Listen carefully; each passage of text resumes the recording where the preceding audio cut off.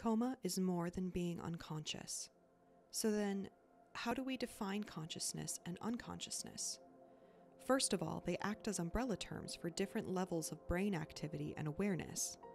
Consciousness, in essence, means brain function that results in a certain level of responsiveness, awareness, and wakefulness.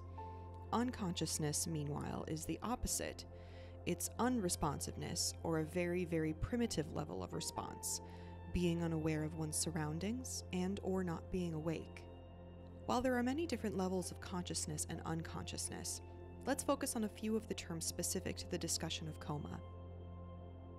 For the purposes of this video, we'll be placing each term along a spectrum that is broken into two parts non comatose states and comatose states. Our first and most conscious level is being fully alert and attentive. This is the state you're likely in right now. You're responsive, engaged, and with it. You are fully aware of your surroundings and can fully engage and interact with them. Next is encephalopathy or delirium. Encephalopathy encompasses any brain disorder, disease, dysfunction, degeneration, damage, or malfunction.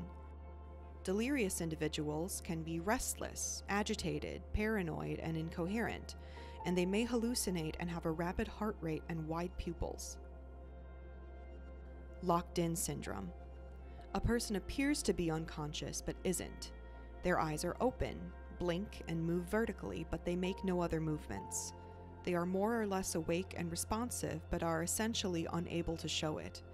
Causes include brainstem abnormalities, such as a stroke, or medication. Minimally conscious state. A person sometimes opens their eyes and looks about, sometimes even making sounds or saying a word but they aren't clearly aware of and can't engage with their surroundings.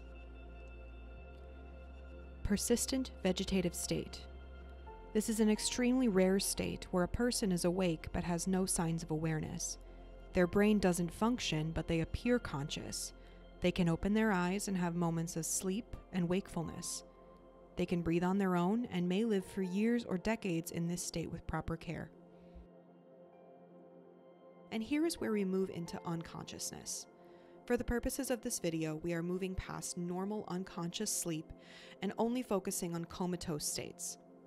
A comatose state is an unreceptive and unresponsive state beyond just sleeping. Unlike sleeping individuals, comatose individuals don't wake up, speak, or open their eyes in response to external stimuli, such as someone talking or turning on the light. They are also unaware of what's happening in their surroundings while comatose. The first kind of comatose state we are covering is a medically induced coma. This is a short term coma brought on by the use of anesthetic medications. This is often done to calm ICU patients and to allow a ventilator to work properly.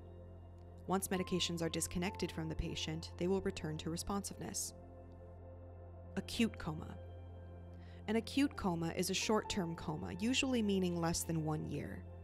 Individuals often show improvement within the first three to seven days after they became comatose. Prolonged coma. A prolonged coma is a longer term coma. It's required that the individual be in a coma for at least a year before this diagnosis can be made with certainty, and even then with some hesitation. Brain death. Brain death is a state beyond coma. At this point, the individual's automatic systems, such as their heart rate, blood pressure, and breathing, fail, and the brainstem loses all function. All automatic systems are only continuing because a machine is controlling them for the individual.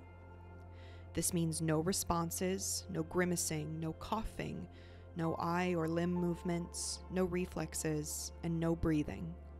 Essentially, no signs of life are detected. The individual is legally dead. For more information on comatose states, consciousness, unconsciousness, and more, you can order a copy of Guide to the Comatose Patient, available at mcpress.mayoclinic.org or wherever books are sold.